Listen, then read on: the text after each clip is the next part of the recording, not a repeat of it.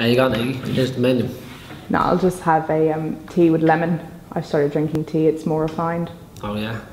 Yeah. All the female executives in the office drink tea and they notice that I do too. I like coffee. I drink coffee.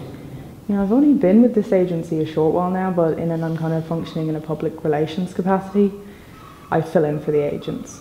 Um, last week I had a business lunch with Cat Stevens in the Cote Basque and Eric Clapton in the Madrigal. Fair enough. Have you heard of those restaurants? Don't know the exact restaurants, but I'm not a type. But you must have heard of the artist. No, not really. So why did you say far out? Because it sounded far out, wasn't it? Yeah. Can I have uh, some lemon with tea, a cheeseburger, and some coffee, please? You know who came into the office the other day? Laurence Olivier. Who's that? You don't know who Laurence Olivier is?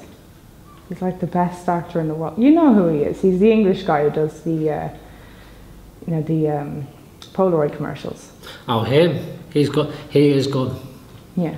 I've been running errands for him, and he's telling everyone in the office I'm the brightest, most vivacious thing in the entire office. Could you get uh, a camera on discount?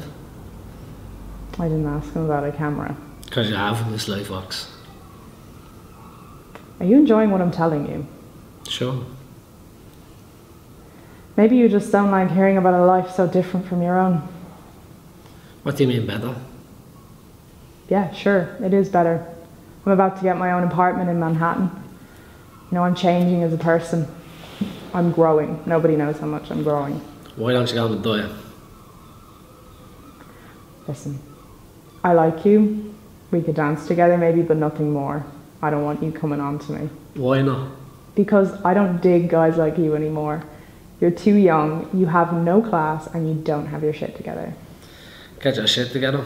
All you need is um, salad and a potato masher to get your shit together. I'll tell you what I do. No, it's not necessary. I'll tell you what I do. I work in a paint store and I got, got a riot.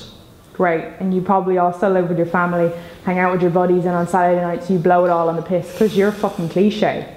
You're nowhere, going no place. What have you got a staircase to the fucking stars? Yeah, maybe I do. I'm taking a course, and next semester I'm going to take two courses. You didn't even go to college, did you? No. Didn't you think of going to college? No, did you? Not back then.